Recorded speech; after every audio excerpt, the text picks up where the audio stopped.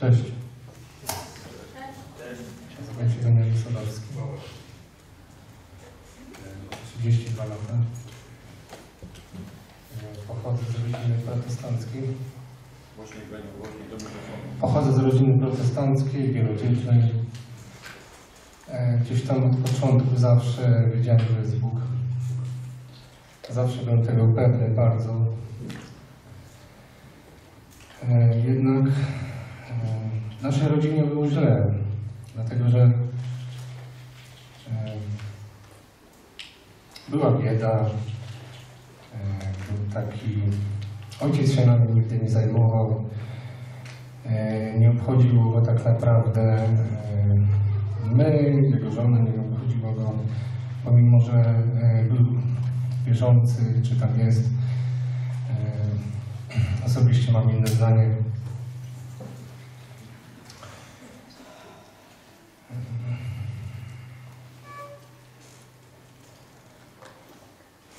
Zawsze, e, znaczy Biblia dla mnie była znana, taka zawsze bardzo, e, jak to w środowisku protestanckim, w takich kościołach, jak od małego byłem tak uczony, na szkółkę chodziłem. e,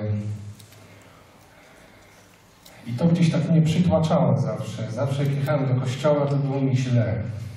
Za każdym razem było źle i się źle czułem. I czasami jeszcze teraz mam takie odczucia, ale to już jest ja to zawsze y, teraz y, odrzucam. Y, Tak, tak sobie dorastałem. Były różne problemy. Jak wszedłem w dorastania, od razu mnie zawinęła pornografia. Zawsze miałem z tym, zawsze miałem z tym problem, jeszcze do niedawna. I to, y, ja tak właśnie myślę, że ta pornografia i brak miłości, y, ja nie potrafiłem się y, zbliżyć tam do swojej matki w ogóle do ojca też w ogóle i odrzucałem. Zawsze nie dawałem się przytulić, nie dawałem się- pocałować i to mnie tak niszczyło zawsze w życiu. Miałem dużo deficytów takich, to dopiero teraz we mnie już jakby znika powoli te deficyty znikają.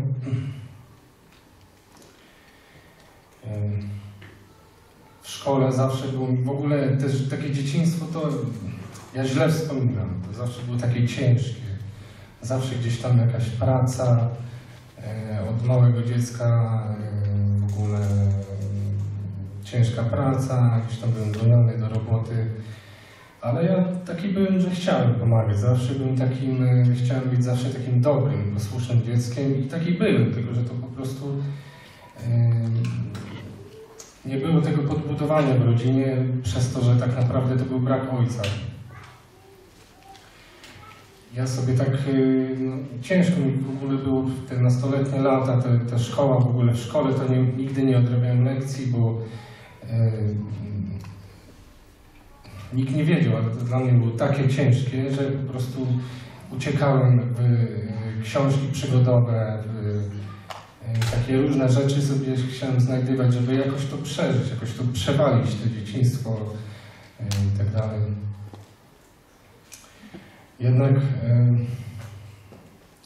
zawsze wiedziałem, jak to ma wyglądać moje życie, że ja powinienem się nawrócić i tak dalej, i tak dalej.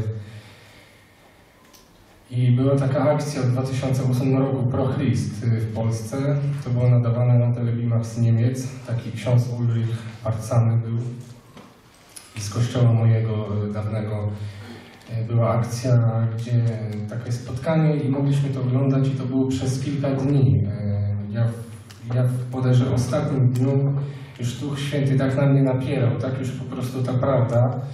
Ja wiedziałem o tym, i postanowiłem, że wyjdę. I wyszedłem na, po prostu oddałem życie jako tam jedna osoba z całej tam grupy, yy, że chcę. Nie? Zdecydowałem, powiedziałem dla Jezusa tak. I nic się nie wydarzyło w ogóle. Ja nie rozumiałem, co się stało. Ja w ogóle nie rozumiałem nic wtedy. Niby znałem całe, całą tą naukę, to wszystko. Byłem w kościele od, od, od zera, od, w ogóle od urodzenia. Ale nic nie wiedziałem o co, co- o co chodzi w ogóle w moim życiu. I tak myślę, nawet nie byłem pewny, że tam się narodziłem na nowo w ogóle. Wcale. Tak sobie dalej żyłem, ale gdzieś już jakieś takie prowadzenie Ducha Świętego miałem. Gdzieś on mnie tak mocno zaczął ugruntowywać w czymś, w takich rzeczach. I po nawróceniu, jeszcze tam gdzieś tutaj w Warszawie bywałem po parę miesięcy. W ogóle zawsze Warszawa to mnie, tutaj te miejsce, e, te miasto to mnie zawsze to pociągało. Zawsze ten e, taki, te biznesy, ten przepych, to wszystko, to myślę, to jest moje miejsce. Ja to po prostu chyba to wejdę, właśnie taki bym chciał być w tych s- klimatach. E, Jednak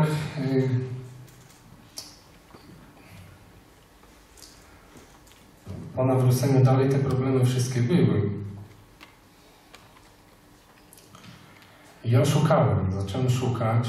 e, W kościele to tam tylko dwie pastor i tam jeszcze taki je- jeden, jedna osoba mi pogratulowała, że coś zrobiłem dobrego, ale w ogóle nikt się mną nie zajął. I to myślę, co?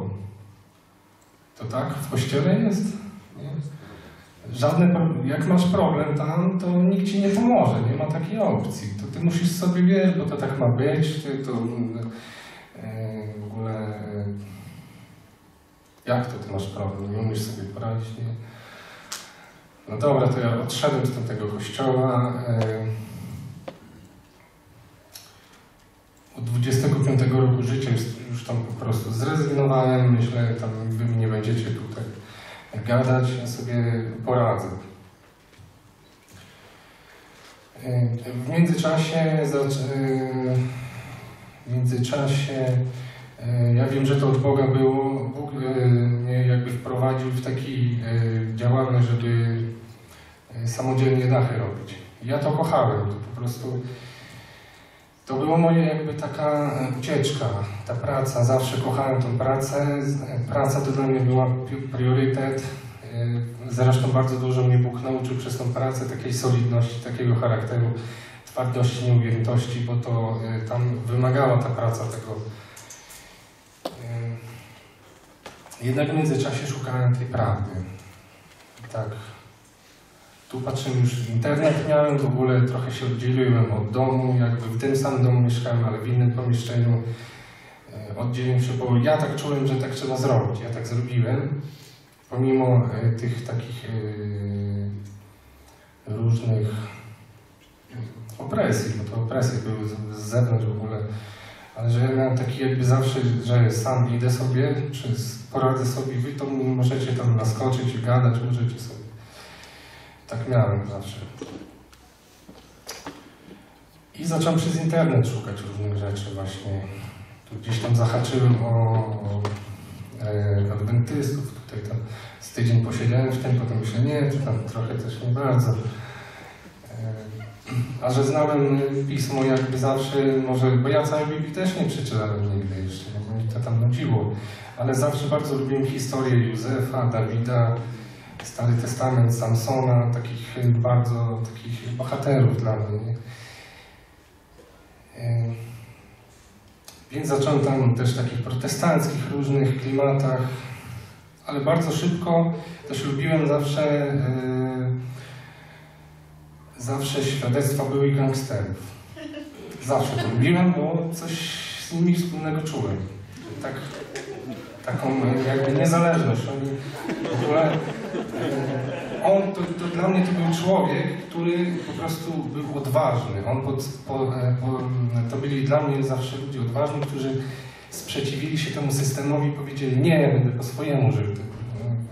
I to mnie pociągało. I słuchałem tych gangsterów. No i tam Artur się pojawiał z boku. Myślę, dobra, przyjdzie czas i przesłucham. No i tak przyszedł któryś dzień, że a Świadectwo wysłuchałem Twojego, ale też yy. Jak zacząłem słuchać jakiegoś nauczania pierwsze, to był 2015 rok jesień, to jakoś tak, że to były początki Kościoła Mocy. Yy, I już tam było z 20 czy 30 nagrań jak zacząłem słuchać tego pierw, któregoś tam, to po 20 chyba minutach mnie to wciągnęło, bo myślę, no logika jest, sens w ogóle w tym. To jest to, nie? Że nie tylko tam słowo, tylko yy, to mnie pociągnęło. To naprawdę zobaczyłem, odkryłem, że to jest to. I wszystkie naraz potem przesłuchałem w ciągu kilku dni. Wszystko przesłuchałem. Bo ja miałem czas w ogóle na to. Ja się oddzieliłem, już miałem jakby swoją tak komorę, już z Bogiem zacząłem tam rozmawiać. Y, Tu była praca, trochę taki hardcore. Nie miałem swojego życia osobistego takiego dobrego i to mnie trochę niszczyło, bo to jest potrzebne. Y, Ale myślę, nie odpuszczam, tylko to mam i na tym, na tym się zawieszę na razie. Y, I były ciągle te już szkoły wiary, już te wszystkie nauczania. Ja potrafiłem dwa na raz przesłuchać, półtora godzinne, coś zjeść, wypić i sobie jeszcze półtorej godziny posłuchać. To przeważnie wieczorami robiłem, albo jak, jak miałem wolne dni. I też yy, w 2016 roku, 14 lutego, tu przyjechałem do Kościoła Mocy. Raz tak się dziwnie w ogóle poczułem. W ogóle nie rozumiałem nabożeństwa, spotkania. Wcale, bo to było zupełnie co innego, co widziałem całe życie. Ale za tydzień słucham nauczania o Chrzcie Duchu Świętym i poczułem, że mam mówić. Wyszedłem sobie na dwór i zacząłem mówić językami. W ogóle nie, gdzieś tam na spacer, bo ja lubię spacery, lubię. Zawsze gdzieś tam na, lubię naturę, nie?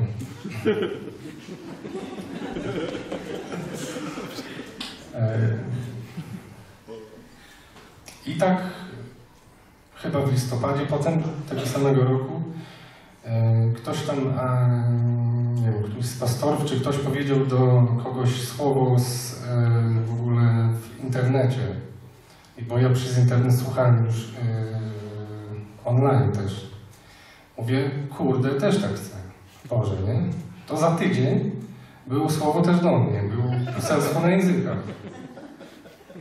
Jakaś tam Kasia to wykonała i Artur pierwszy wyłożył, potem wyłożył Michał Korgol i, po, i tak, tak się skończyło, ale to, ta pierwsza część, którą Artur wyłożył, to było do mnie, o mnie w ogóle, że ja się zatrzymałem i muszę ruszyć po prostu i tam przez pierwszy rok to e, Bóg, jak ja ruszę, to e, będzie różne rzeczy robił w życiu ludzi wokół mnie a potem następne dwa lata będą dla mnie. No więc tak to mnie uderzyło, bo ja wiedziałem, że się zatrzymałem. Wiedziałem, że to tu jest moje miejsce w ogóle.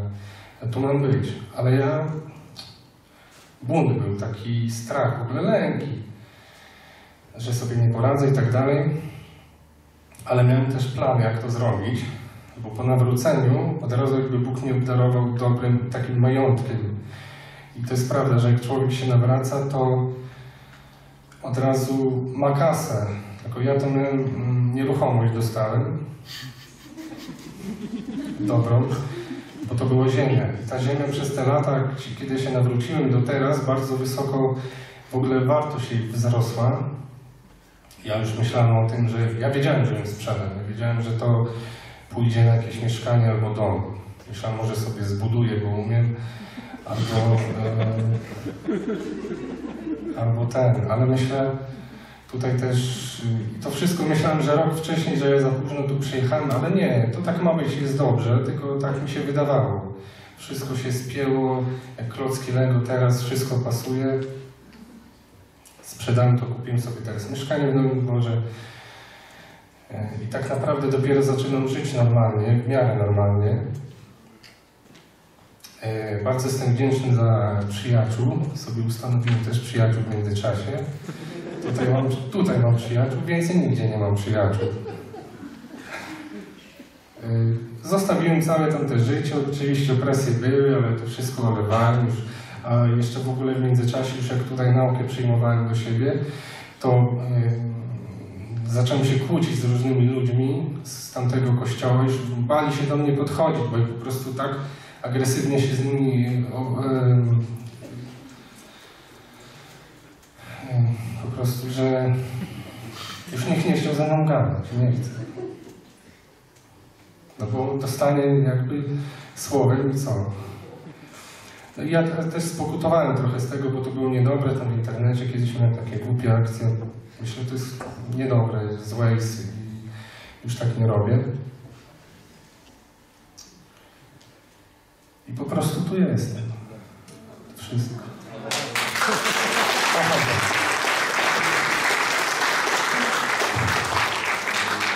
Słuchajcie, ja jed, jedną rzecz chciałem zauważyć, jak on powiedział Beniamin, że on się, on przyjął Jezusa i on nie był, nawet nie był pewien różnych rzeczy. Ale co potem następuje? Następuje szereg zjawisk. Bo nowemu narodzeniu towarzyszy, towarzyszy rozpoczęta droga. Nowe narodzenie, ono otwiera drzwi do drogi. I on, on szuka później. I musi znaleźć. Każde nowe narodzenie otwiera drogę. Rozumiecie? To są drzwi do drogi. I druga rzecz. Chcę, żebyście zrozumieli, jak ważną rzeczą jest głoszenie Ewangelii coś się wydarza, gdzieś jakiś tam ksiądz, coś tam robią, on, on przyjmuje słowo, mówi jako jedyny z grupy, on się nawraca. Proszę Was, głoście Ewangelię. Wszędzie i non-stop. Osobiście, grupowo, na ulicach, publicznie, w internecie, niech po prostu wszędzie, rozumiecie? Wszędzie. Nie masz co robić, to zacznij głosić. Po prostu, rozumiesz, siadasz przed internetem, zamiast przeglądać niepotrzebne strony, w ogóle niepotrzebne. Wiesz o tym, że to niepotrzebne jest mnóstwo rzeczy, które tam przeglądasz. To zacznij głosić Ewangelię. Daj swoje zdjęcie, numer telefonu i głoś Chrystusa do ludzi bo Bóg jedyny wie, do kogo to dotrze. Rozumiesz? Jak masz internet, płacisz za internet co miesiąc, tak? To weź tam głoś Ewangelię. Weź do swoich znajomych, których masz skrzynce w ogóle w telefonie, nie wiem ilu tam masz znajomych, ale do tych, którym jeszcze nie głosiłeś, ogłosił Ewangelię. I kiedyś do wszystkich ludzi wysłałem informację Ewangelii. Ja wysłałem do wszystkich, których miałem na poczcie mailowej, wszędzie. Ja nawet nie wiem, do kogo ja wysłałem. Wszystkie, jak ja miałem adresy, po prostu powysyłałem Ewangelia. Co mnie to obchodzi? Niektórzy natychmiast mnie poblokowali, gdzieś coś mi zrobili, tak? Ale to jest nieistotne. Głoś Chrystusa. I coś Ci powiem. Czy masz chęć, czy nie masz chęci? Ja Cię nie proszę, żebyś głosił Chrystusa, jak masz chęć. Rozumiesz? Są pewne fundamentalne rzeczy, które nie mają, nie ma tutaj, jakby Bóg nigdy ci nie będzie powtarzał ich. Bóg nigdy nie będzie do ciebie mówił e, na przykład y, nie będzie ci przypominał ciągle, żebyś głosił Ewangelię, uzdrawiał chorych, wypędzał demony. To są takie klasyczne rzeczy, taka klasyka. Rozumiecie? Klasyka. Boże prowadzenie, ono się na innych odcinkach odbywa. On ci może mówić, jak co powiedzieć, w jaki sposób się modlić, co to za demon, w ogóle wiesz o co chodzi, ale ludzie to myślą, że trzeba być zachęconym do tego, żeby głosić Ewangelię. Ja powiem Ci tak, jak nie jesteś zachęcony do głoszenia Ewangelii, to zrób sobie eksperyment, tak? I zacznij ogłaszać sobie od dzisiaj przez najbliższy miesiąc codziennie, tak? Że jestem głosem Boga, jestem powołany, aby głosić, tak? Biada mi, jeśli głosił nie będę. I sobie ogłaszę. Zobaczysz, co ci się po miesiącu zrobi w mózg. Rozumiesz? Weź se wypierz mózg. To jest normalna sprawa. I potem idź głoś Ewangelię. Po prostu głoś Ewangelię. Głoś Ewangelię. Nie staraj się ludziom opowiadać głodnych kawałków różnych, moralizować ich, tłumaczyć. Nie tłumacz ludziom, e, w ogóle nie tłumacz różnych rzeczy ludziom. Nie tłumacz ćpunom, żeby nie ćpali, pijakom, żeby nie pili. Rozumiesz? Nie tłumacz, nie tłumacz, żeby ludzie się nie puszczali i rzeczy. Po co to masz tłumaczyć? Rozumiesz, o co chodzi? To w ogóle nie do tego Bóg cię powołał. Bóg cię nie powołał na moralistę. Rozumiecie? To Kościołowi to się wydaje, że my jesteśmy powołani, żeby moralizować. My nie mamy moralizować, mamy głosić Chrystusa. Ja Ci gwarantuję, że jak ktoś przyjmie Chrystusa, to przestanie chlać, płać, puszczać się. Rozumiesz? Nie będziesz musiał go moralizować. Tam są, ja wiadomo, jednostki do uwolnienia i na terapię, to jest inny tam. Ale zasadniczo, tak? Nawet jak potem człowiek się nawróci i grzeszy, no to się z tego nie cieszy, no. I tyle. Rozumiesz, jest załatwiony grubo. Głoś Chrystusa, bo możesz dotrzeć do takich ludzi, jak dzisiaj mówił tutaj Beniamin. Jakaś akcja, coś głosi ktoś, człowiek się nawraca.